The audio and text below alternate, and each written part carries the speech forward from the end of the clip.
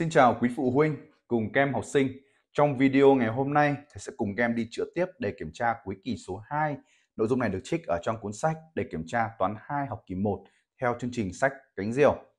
Bố mẹ có thể tham khảo cuốn sách này ở ngoài các hiệu sách cũng như ở trên sàn thương mại điện tử Shopee nhé. Chúng ta cùng đi vào phần 1, phần trắc nghiệm chiếm 3 điểm. Đề bài yêu cầu chúng ta khoanh tròn vào chữ cái đặt trước câu trả lời đúng. Câu 1, đề bài hỏi chúng ta điền số thích hợp vào trong dấu hỏi chấm. Chúng ta có một tia số và chúng ta thấy rằng mỗi khoảng cách này tương ứng với mấy đơn vị đây chúng ta thử này thử xem mỗi khoảng cách này tương ứng với một đơn vị nhé 21 22 23 24 25 26 27 28 như vậy phù hợp đúng không và chúng ta đếm xem ở dấu hỏi chấm là số bao nhiêu nhá 21 này 22 23 24 25 vậy đáp án C câu số 2 để bài hỏi 45 là tổng của tổng của số nào như vậy chúng ta thấy rằng bài hỏi tổng đúng không? Vậy thì chúng ta phải đi thực hiện bốn phép tính ABCD xem phép tính nào có kết quả bằng 45.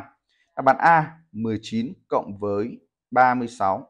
9 cộng 6 15 viết 5 nhớ 1, 1 cộng 3 bằng 4 thêm 1 bằng 5. Đáp án A không đúng này. Đáp án B 37 cộng 8. 7 cộng 8 15 viết 5 nhớ 1, 3 thêm 1 thì bằng 4. Vậy đáp án B đúng. Đáp án C 62 cộng 27 với không phù hợp rồi. Đáp án D 36 cộng với 29, 3 cộng 2 bằng 5. Đáp án D cũng không phù hợp. Câu 2 chúng ta chọn đáp án B thôi. Câu số 3, để bài hỏi hình bên có mấy hình tứ giác. Như vậy chúng ta thấy rằng trong hình bên chúng ta cần tìm hình tứ giác. Và chúng ta đánh số nhé. 1, 2, 3. Hình 1, hình 2, hình 3 là những hình tam giác. Và chúng ta tìm những hình tập bởi hai mảnh ghép. Chúng ta thấy rằng hình 1 cộng 2 đó là một hình tứ giác. Có bốn cạnh mà. Rồi tương tự chúng ta có 1 3 không phải và chúng ta có hình 2 3. 2 3 là một hình tứ giác. Ngoài ra chúng ta có thêm hình 1 2 3. Như vậy chúng ta có 1 2 3 có tất cả 3 hình tứ giác đáp án D. Chúng ta sang câu 4 để bài hỏi độ dài của đường gốc khúc GEBCD. Vậy chúng ta xem GEBCD đâu nhá. G này, E, B, C, D. Rồi, độ dài của đường gốc khúc GE BCD nó sẽ bằng GE cộng với EB cộng BC và cộng với CD. GE thì chúng ta bằng 3 cm cộng EB bằng 2 cm, BC bằng 3 cm và CD bằng 2 cm. 3 cộng 2 bằng 5, 5 cộng 3 bằng 8 và 8 cộng 2 bằng 10. Như vậy chúng ta được kết quả 10 cm. Trong bốn đáp án của chúng ta thì không có đáp án 10 cm nhưng các em để ý có một đáp án A 1 dm và chúng ta biết được rằng 1 dm cũng chính bằng 10 cm vậy các em chọn đáp án A 1 dm chúng ta sang tiếp với câu số 5 đề bài có nội dung như sau. Số bị trừ là số tròn trục liền sau của 65 số trừ là số liền trước của 48 vậy hiệu bằng bao nhiêu? Đề bài hỏi hiệu, như vậy chúng ta phải quan tâm tới phép trừ và việc của chúng ta trong bài toán này chúng ta cần phải tìm xem số bị trừ bằng bao nhiêu và số trừ bằng bao nhiêu. Đề bài nói rằng số bị trừ là số tròn trục liền sau của 60 năm 60 năm thì số tròn trục sau đó sẽ là số 70 đúng không? Như vậy đó là số 70, không phải số 66 nhá. Nếu mà số liền sau của 60 năm thì sẽ là 66. Nhưng đây bài hỏi rằng đó là số tròn trục liền sau, vậy đó là số 70. Số trừ là số liền trước của 48, đó là 48 trừ 1 bằng 47. Như vậy chúng ta phải thực hiện phép tính trừ 70 trừ 47 thì thực hiện ra ngoài nháp nhá 70 trừ 47 này. Không không trừ được cho 7 đến 10 trừ 7 được 3 viết 3 nhớ 1 4 thêm 1 bằng 5 7 trừ 5 bằng 2 với kết quả của chúng ta bằng 23 các chọn đáp án C. Chúng ta sang tiếp với câu số 6 ở mức độ 3 sao. Hiệu của hai số có hai chữ số bằng 30 năm. Hiệu bằng 30 năm nếu giữ nguyên số bị trừ và tăng số trừ thêm 17 đơn vị thì hiệu mới bằng bao nhiêu? Thì trong cái nội dung này là cái bài toán liên quan tới tăng giảm số bị trừ. Thì các em có thể um, gõ trên YouTube về bài toán tăng giảm số bị trừ thì hiệu thay đổi như thế nào. Thì thầy có hai cái video về chia sẻ về kiến thức này. Thì chúng ta thấy rằng là nếu như số bị trừ mà tăng số bị trừ tăng hoặc giảm bao nhiêu đơn vị thì hiệu sẽ tăng hoặc giảm bấy nhiêu đơn vị còn số với số trừ thì nếu như số trừ mà tăng bao nhiêu đơn vị thì hiệu nó sẽ giảm đi bấy nhiêu đơn vị trong bài toán này thì giữ nguyên số bị trừ như vậy hiệu không thay đổi nhưng số trừ tăng thêm 17 đơn vị thì hiệu sẽ bị giảm đi 17 đơn vị. Vậy thì hiệu mới sẽ bằng 35 trừ đi 17. 5 không trừ được cho 7, 15 trừ 7 được 8, biết 8 nhớ 1. 1 thêm 1 bằng 2, 3 trừ 2 được 1. Vậy hiệu mới bằng 18. Các em chọn đáp án A, 18. Chúng ta cùng sang tiếp phần 2 với bài số 1 để bài yêu cầu chúng ta đặt tính rồi tính. Ý đầu tiên chúng ta có 26 cộng với 7. 6 cộng 7 thì bằng 13, viết 3 nhớ 1. 2 thêm 1 bằng 3, chúng ta được 33. Ý tiếp theo chúng ta có 54 cộng với 18. 4 cộng 8 bằng 12, viết 2 nhớ 1. 5 cộng 1 bằng 6, thêm 1 bằng 7, chúng ta được 72. Ý tiếp theo chúng ta có 76 trừ đi 59. 6 không trừ được cho 9, đến 16 trừ 9 được 7, viết 7 nhớ 1. 5 thêm 1 bằng 6, 7 trừ 6 được 1, chúng ta được 17. Ý cuối cùng chúng ta có 33 trừ đi 15. 3 không trừ được cho 5, đến 13 trừ 5 bằng 8, viết 8 nhớ 1. 1 thêm 1 bằng 2, 3 trừ 2 được 1, chúng ta được 18. Chúng ta sang tiếp phần 2, bài số 2. Để bài yêu cầu chúng ta tìm số thích hợp để điền vào trong ô trống. Đầu tiên chúng ta thực hiện 22 cộng 48 trừ đi 31. Để thực hiện được kết quả thì các em thực hiện 22 cộng 48 trước. 22 cộng với 48 này. Chúng ta có 2 cộng 8 bằng 10, viết 0 nhớ 1. 2 cộng 4 bằng 6, thêm 1 bằng 7, 70. Sau đó chúng ta thực hiện 70 trừ đi 31. 0 không trừ được cho 1, lấy 10 trừ 1 được 9, viết 9, nhớ 1. 3 thêm 1 bằng 4, 7 trừ 4 được 3 và chúng ta được kết quả 39.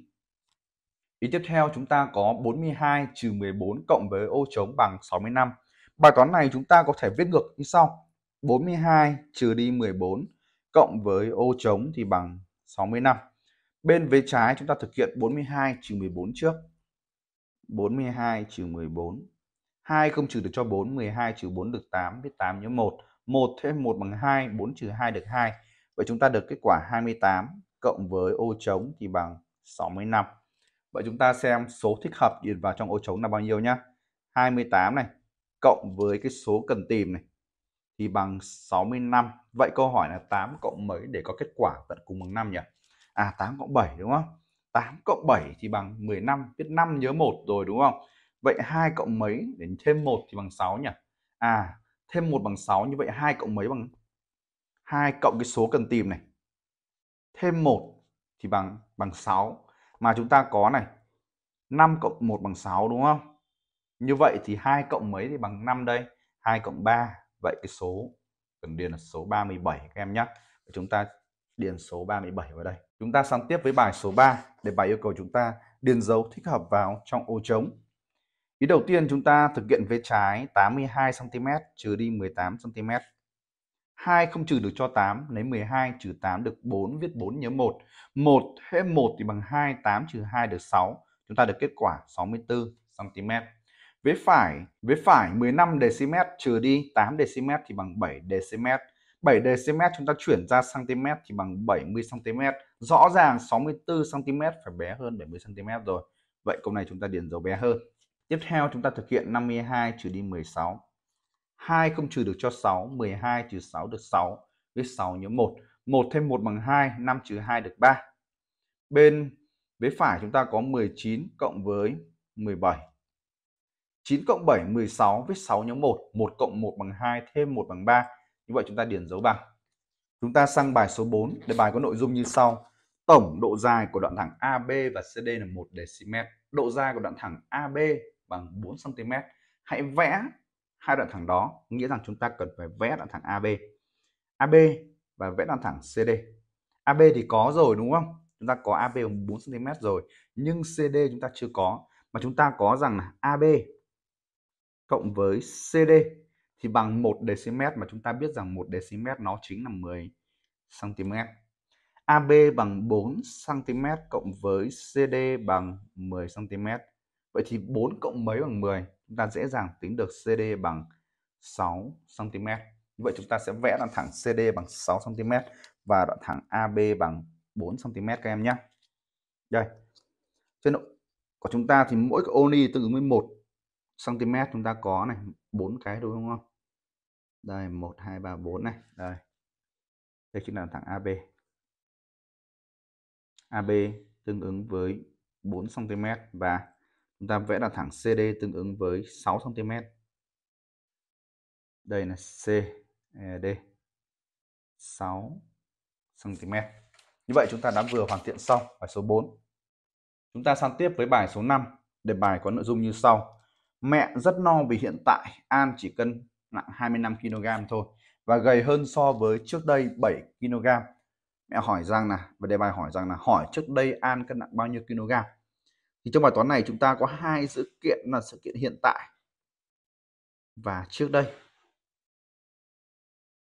Đề bài nói rằng hiện tại thì An cân nặng 25 kg và chúng ta sẽ vẽ một đoạn thẳng tượng trưng cho 25 kg các em nhé. Đề bài nói rằng hiện tại thì An gầy hơn so với trước đây, có nghĩa rằng khối lượng của An so với trước đây sẽ là ít hơn đúng không? Vậy trước đây sẽ nhiều hơn. Vậy trước đây sẽ nhiều hơn và nhiều hơn sau một đoạn là 7 kg.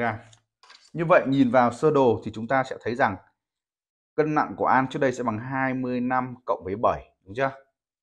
Vậy chúng ta trả lời bài toán rằng trước đây An cân nặng số kg. Em thực hiện 25 cộng với 7 và các em thực hiện ra ngoài nháp, chúng ta được kết quả 32 đơn vị kg. Các em đáp số bài toán 32 kg. Như vậy, chúng ta đã vừa hoàn thiện xong bài tập số 5 cũng là bài tập cuối cùng của đề kiểm tra cuối kỳ số 2 này rồi. Hẹn gặp các em ở trong những bài giảng tiếp theo. Đừng quên ấn nút đăng ký kênh để có thể theo dõi được các bài giảng tiếp theo của thầy.